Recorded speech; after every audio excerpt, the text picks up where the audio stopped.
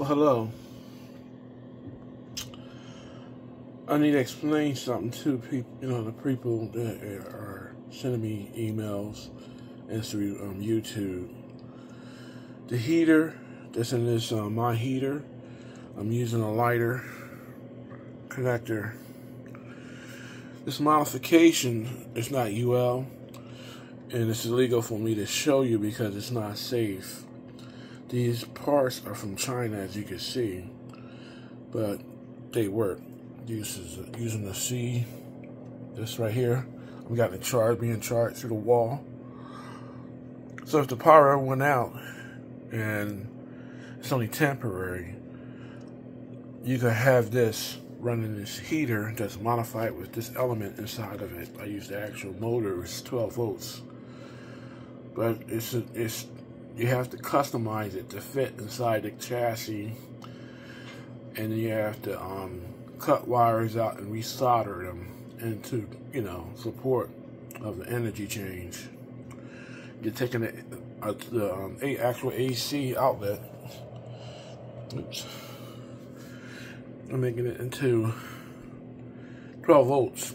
This is 12 volts modified. I modified myself and I'd like to apologize if anybody was in, in the impression that this came from factory like this.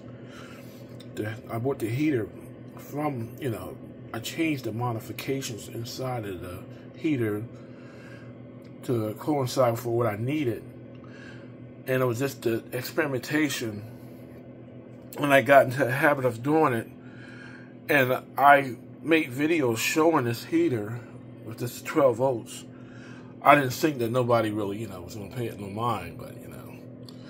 But then I looked into the research of laws and stuff. I cannot suggest anything. I can tell you, you do it at your own risk. I apologize if you assume for it that these are made from factory like this. This is not made from a factory like this. With the um, auxiliary battery I'm using. This, all these modifications are something that I been doing for a couple years, experimenting on. But um, I showed it for many videos for many for a long time, and now that we're coming to this crisis where we need low energy heaters, you know, and now everybody want to know how to modify their heater so it can run off of 12 volts. This heater can run off of, you see what it's doing, it's 20 it is working. I use it for my animal, for my um, rabbit that's just cage on the floor. She don't like being in the air. And I made it so she can stay warm, you know, during the cold months. And when she sits near the door, so I use the heater, she stays up near it, and it's low energy. So my power bank powers it about 12 to 13 hours. And have another one to take its place and modify, you know, use it for about 12, 13 hours to 14 hours. My bigger one will run 24 hours and 30 hours with two of them, two of these modified heaters, you know, to heat the area up.